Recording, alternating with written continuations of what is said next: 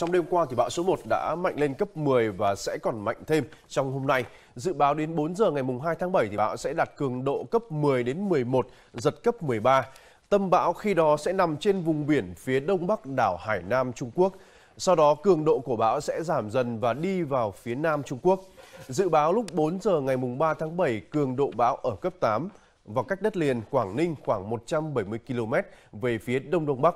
Trong 48 đến 72 giờ tiếp theo, bão tiếp tục giữ nguyên hướng di chuyển theo hướng Tây Bắc và suy yếu thành áp thấp nhiệt đới, sau đó là vùng thấp.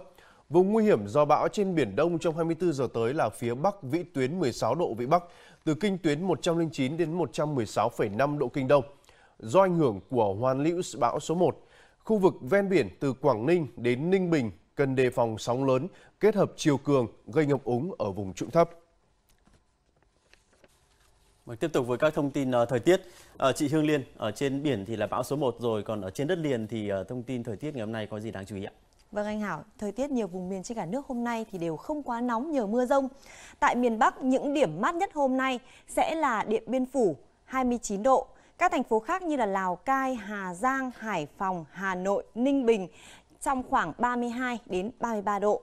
Trong ngày trời tạnh giáo, phải đến chiều tối và đêm thì mới có mưa.